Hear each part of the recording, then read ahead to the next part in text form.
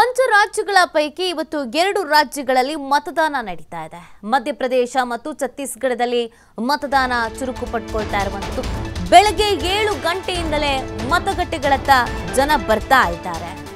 ಮಧ್ಯಪ್ರದೇಶದ ಇನ್ನೂರ ಮೂವತ್ತು ವಿಧಾನಸಭಾ ಕ್ಷೇತ್ರಗಳಿಗೆ ಈ ಒಂದು ಚುನಾವಣೆ ನಡೀತಾ ಇದೆ. ವೋಟಿಂಗ್ ಆಗ್ತಾ ಇದೆ. ಇನ್ನೂರ ಮೂವತ್ತು ವಿಧಾನಸಭಾ ಕ್ಷೇತ್ರಗಳಲ್ಲಿ ಎರಡ್ ಸಾವಿರದ ಐನೂರ ಮೂವತ್ತ್ಮೂರು ಅಭ್ಯರ್ಥಿಗಳು ಸ್ಪರ್ಧೆಯನ್ನ ಮಾಡ್ತಾ ಇರುವಂಥದ್ದು. ಬಿಜೆಪಿ, ಕಾಂಗ್ರೆಸ್ ಎರಡೂ ಪಕ್ಷಗಳು ಎಲ್ಲ ಕ್ಷೇತ್ರಗಳಲ್ಲೂ ಕಣಕ್ಕಿಳಿದಿರುವಂಥದ್ದು. ಮಧ್ಯಪ್ರದೇಶದಲ್ಲಿ ಎಪ್ಪತ್ತೊಂದು ಅಭ್ಯರ್ಥಿಗಳನ್ನು ಸಮಾಜವಾದಿ ಪಕ್ಷ ಇಲ್ಲಿ ಕಣಕ್ಕಿಳಿಸಿದೆ. ಛತ್ತೀಸ್ಗಢದಲ್ಲಿ ಎರಡನೇ ಹಂತದಲ್ಲಿ ಎಪ್ಪತ್ತು ಸ್ಥಾನಗಳಿಗೆ ಮತದಾನ ನಡೆಯೋದು. ರಾಜ್ಯದ ಎಪ್ಪತ್ತು ಸ್ಥಾನಗಳಲ್ಲಿ ಅದೃಷ್ಟ ಪರೀಕ್ಷೆಗೆ ಒಂಬೈನೂರ ಐವತ್ತೆಂಟು ಅಭ್ಯರ್ಥಿಗಳಿದ್ದಾರೆ. ಛತ್ತೀಸ್ಗಢದಲ್ಲೂ ಬೆಳಗ್ಗೆ ಏಳರಿಂದಲೂ ಮತದಾನ ಚುರುಕು ಪಡ್ಕೊಂಡಿದೆ.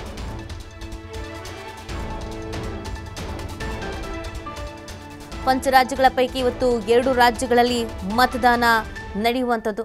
ಈಗಾಗಲೇ ವೋಟಿಂಗ್ ನಡೀತಾ ಇದೆ. ಬೆಳಗ್ಗೆ ಏಳು ಗಂಟೆಯಿಂದಲೇ ಮತದಾನ ಚುರುಕು ಪಡ್ಕೊಂಡಿದೆ. ಮಧ್ಯಪ್ರದೇಶ ಮತ್ತು ಛತ್ತೀಸ್ಗಢದಲ್ಲಿ ಮತದಾನ ಚುರುಕು ಪಡ್ಕೊಂಡಿರುವಂಥದ್ದು. ಬೆಳಗ್ಗೆ ಏಳು ಗಂಟೆಯಿಂದ ಮತಗಟ್ಟೆಗಳತ್ತ ಜನ ಆಗಮಿಸ್ತಾ ಇದ್ದಾರೆ. ಮಧ್ಯಪ್ರದೇಶದ ಇನ್ನೂರ ಮೂವತ್ತು ವಿಧಾನಸಭಾ ಕ್ಷೇತ್ರಗಳಿಗೆ ಈ ಒಂದು ವೋಟಿಂಗ್ ಕಾರ್ಯ ನಡೀತಾ ಇದೆ. ಇನ್ನೂರ ಮೂವತ್ತು ವಿಧಾನಸಭಾ ಕ್ಷೇತ್ರಗಳಲ್ಲಿ ಎರಡು ಸಾವಿರದ ಐನೂರ ಮೂವತ್ತ್ಮೂರು ಅಭ್ಯರ್ಥಿಗಳು ಸ್ಪರ್ಧೆಯನ್ನ ಮಾಡ್ತಾ ಇದ್ದಾರೆ. ನೋಡಿ, ಈ ಮಿನಿ ಲೋಕಸಭಾ ಅಂತಲೇ ಬಿಂಬಿಸಲಾಗಿರುವಂಥ ಪಂಚ ರಾಜ್ಯಗಳ ಚುನಾವಣೆಗಳ ಪೈಕಿ ಅತಿ ಹೆಚ್ಚು ಕ್ಷೇತ್ರಗಳನ್ನು ಹೊಂದಿರುವಂಥ ಮಧ್ಯಪ್ರದೇಶದಲ್ಲಿ ಮತದಾನ ಆಲ್ರೆಡಿ ಶುರುವಾಗಿದೆ. ಒಟ್ಟು ಇನ್ನೂರ ಮೂವತ್ತು ಕ್ಷೇತ್ರಗಳನ್ನು ಮಧ್ಯಪ್ರದೇಶ ಹೊಂದಿದೆ. ಈ ಚುನಾವಣೆಯಲ್ಲಿ ಗೆದ್ದು ಅಧಿಕಾರದ ಗದ್ದೆಗೆ ಹಿಡಿಯೋಕೆ ಬಿಜೆಪಿ ಹಾಗೂ ಕಾಂಗ್ರೆಸ್ ಪಕ್ಷಗಳು ಬಹಳಷ್ಟು ತಯಾರಿಯನ್ನು, ಬಹಳಷ್ಟು ಸ್ಟ್ರಾಟರ್ಜಿಯನ್ನು ಮಾಡಿರುವಂಥದ್ದು. ಪ್ರಧಾನಿ ನರೇಂದ್ರ ಮೋದಿ, ಗೃಹ ಸಚಿವ ಅಮಿತ್ ಶಾ, ಕಾಂಗ್ರೆಸ್ ನಾಯಕ ರಾಹುಲ್ ಗಾಂಧಿ, ಪ್ರಿಯಾಂಕಾ ಗಾಂಧಿ ಸೇರಿದಂತೆ ಹಲವಾರು ನಾಯಕರು ಭರ್ಜರಿಯಾಗಿ ಮತಭೇಟಿಯನ್ನು ಆಡಿದ್ದಾರೆ. ರೋಡ್ ಶೋಗಳು ನಡೆದಿತ್ತು ಮತ ಪ್ರಚಾರಗಳು ನಡೆದಿತ್ತು.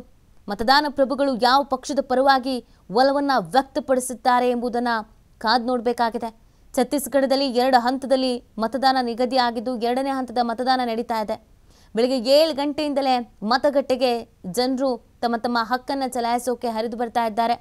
ಮಧ್ಯಪ್ರದೇಶದಲ್ಲಿ ಸಿಎಂ ಶಿವರಾಜ್ ಸಿಂಗ್ ಚೌಹಾಣ್ ನೇತೃತ್ವದ ಬಿಜೆಪಿಯು ಮತ್ತೆ ಅಧಿಕಾರವನ್ನು ಹಿಡಿಯೋಕೆ ಎಲ್ಲ ಪ್ರಯತ್ನಗಳನ್ನು ಮಾಡ್ತಾ ಇದೆ. ಹಲವಾರು ಸ್ಟ್ರಾಟಜಿಗಳನ್ನು ಮಾಡಾಗಿದೆ. ವಿಧಾನಸಭಾ ಕ್ಷೇತ್ರದ ಮತದಾರರ ಬಳಿ ತೆರಳಿ ಪ್ರಚಾರ ಮಾಡಿ ಮತ್ತೆ ಅಧಿಕಾರ ನೀಡುವಂತೆ ಕೇಳಿಕೊಂಡಿದ್ದಾರೆ. ಇನ್ನು ಛತ್ತೀಸ್ಗಢದ ಸಿಎಂ ಭೂಪೇಶ್ ಬಘೇಲ್ ಮತ್ತೆ ಕಾಂಗ್ರೆಸ್ಸನ್ನು ಅಧಿಕಾರಕ್ಕೆ ತರೋಕೆ ಶಕ್ತಿ ಮೀರಿ ಪ್ರಯತ್ನವನ್ನು ನಡೆಸ್ತಾ ಇದ್ರು. ಮತದಾರ ಪ್ರಭುಗಳು ಕೊನೆಗೆ ಯಾರಿಗೆ ಒಲಿತಾರೆ ಅನ್ನೋದು ಡಿಸೆಂಬರ್ ಮೂರರ ಬಳಿಕ ಗೊತ್ತಾಗತ್ತೆ. ಐದು ರಾಜ್ಯಗಳ ಪೈಕಿ ಇವತ್ತು ಮಧ್ಯಪ್ರದೇಶ, ಛತ್ತೀಸ್ಗಢದಲ್ಲಿ ಮತದಾನ ನಡೀತಾ ಇರುವಂಥದ್ದು. ಬೆಳಗ್ಗೆಯಿಂದ ಮತದಾನ ಪ್ರಾರಂಭ ಆಗಿದೆ. ಏಳು ಗಂಟೆಯಿಂದ ನಿರಂತರವಾಗಿ ಮತದಾನ ಆಗ್ತಾ ಇದೆ. ಯಾರ ಪರವಾಗಿ ಈ ಬಾರಿ ಮತದಾರರ ಒಲವಿದೆ? ಯಾರಿಗೆ ಮತ್ತೆ ಅಧಿಕಾರ ಕೊಡ್ತಾರೆ ಅಥವಾ ಹೊಸದಾಗಿ ಅಧಿಕಾರ ಕೊಡೋದಕ್ಕೆ ಬಯಸಿದ್ದಾರೆ? ಇದೆಲ್ಲವೂ ರಿಸಲ್ಟ್ ದಿನ ಗೊತ್ತಾಗಲಿದೆ.